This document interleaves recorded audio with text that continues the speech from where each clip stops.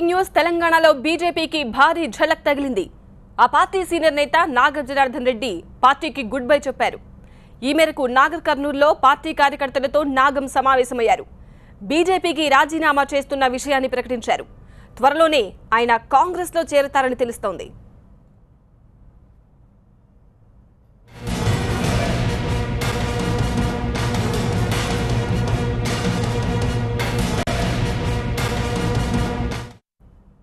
బీజేపీకి Nagam Janardhan Reddy good bye చెప్పారు. అనుచరుల సమావేశంలో రాజీనామా విషయాన్ని వెల్లడించారు.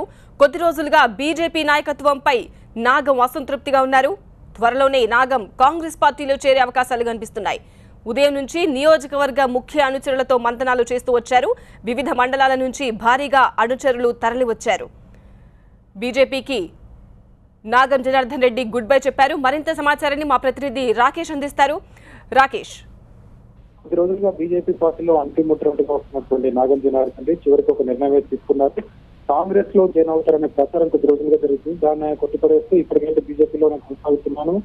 పార్టీ మారేటువంటి అవకాశం లేదు అని చెప్పారు. ఆ తర్వాత కోదన్ రామ్ తెచ్చినటువంటి కొత్త పార్టీ వైపు కూడా చూస్తున్నట్లుగా కొంత ప్రచారం జరిగింది. కానీ ఇప్పుడు తీసుకున్నటువంటి నిర్ణయం ప్రకారం అయితే కార్యకర్తల సమావేశంలో ఆయన ప్రకటించారు.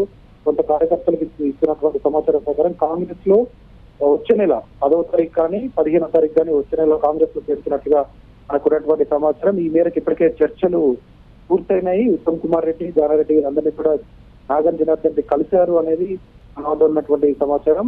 అంతకు ముందే ఆ జిల్లాకు సంబంధించినటువంటి డీకేఆర్ నా అదేవిధంగా ఎమ్మెల్సీ జనార్దన్ రెడ్డి వీళ్ళిద్దరు కూడా తీవ్రంగా అడ్డుపడే ప్రయత్నం చేశారు. ఆయన చేర్చుకోవద్దు అంటూ పాలమూరు సంబంధించినటువంటి నేతలంతా కూడా ఢిల్లీ వరకు వెళ్ళి రాహుల్ గాంధీని కలిసి కూడా ఫిర్యాదు చేశారు. అక్కడ ఉన్నటువంటి రాజకీయాల్లో కాస్త గందరగోళం నెలకొంటుంది.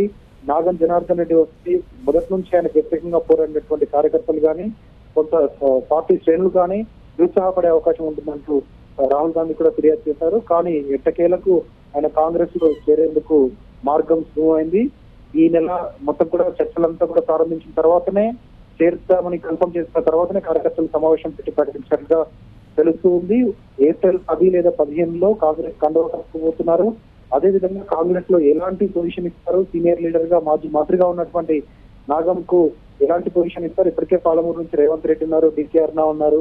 చాలా సీనియర్ నేతలు కూడా అక్కడి నుంచే ఉన్నారు కాబట్టి ఎలాంటి ఇష్యూ మొదలవుతుంది? అది అంతకుముందే కాంగ్రెస్ ఎమ్మెల్సీ జనార్దన్ రెడ్డి కూడా ఒకవేళ నాగం జనార్దన్ రెడ్డిని పార్టీలో తీసుకుంటే నేను రాజీనామా చేస్తాను. పార్టీలో కొనసాగేటువంటి అవకాశం లేదు అంటూ ప్రకటించారు. ఈ మేరకు ఉత్తమ్ కుమార్ రెడ్డి కూడా చెప్పడం జరిగింది. మీడియా సమావేశం ఏర్పాటు చేసి కూడా బహిరంగంగా ప్రకటించారు. ఈ నేపథ్యంలో నాగం జనార్దన్ రెడ్డి వస్తే పాలమూరు రాజకీయాల్లో ముఖ్యంగా కాంగ్రెస్ రాజకీయాల్లో ఎలాంటి మార్పు ఉండబోతుంది? డీకేఆర్ నా ఇలాంటి వాళ్ళని ఎలా ఒప్పిస్తారు? ఇక ఎమ్మెల్సీ జనార్దన్ రెడ్డి పార్టీలో కొనసాగుతారా? లేదంటే నిజంగానే పార్టీ వీడబోతున్నారా అనేది మరికొద్ది రోజుల్లోనే తెలిసే అవకాశం ఉంది. ఇక ఇక్కడ ఉన్నటువంటి టీపీసీసీ నేతలు చెప్తున్నటువంటి మాత్రం అందరినీ ఇప్పటికే చర్చ చర్చించాము. అందరితో ఆయన రావడం వల్ల రాజకీయాల్లో పాలమూరు రాజకీయాల్లో ఎలాంటి ఇబ్బంది లేకుండా చూసుకునే బాధ్యత మాది అంటూ కొంతమంది పెద్దలు హామీ ఇచ్చిన తర్వాతనే ఆయన పార్టీలో చేసుకుంటున్నామనే సమాచారం ఇస్తా ఉన్నారు. రైట్ రాకేష్